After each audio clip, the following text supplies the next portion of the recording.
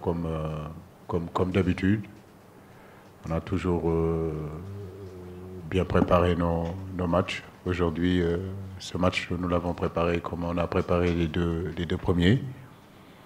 J'ai toujours dit que notre philosophie était de, de jouer les matchs les uns après les, après les autres.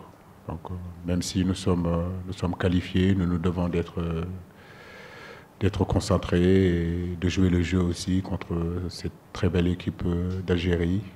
Donc, euh, nous savons que nous allons vers un match euh, très difficile demain. Donc, c'est une compétition de la Cannes.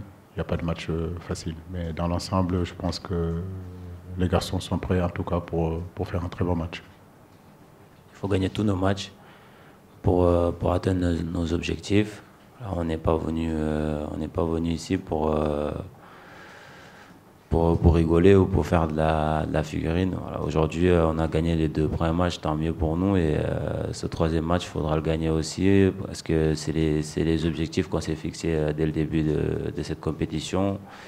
Voilà, Algérie ou que ce soit une autre équipe, ce match sera important pour nous pour bien préparer les quarts de finale.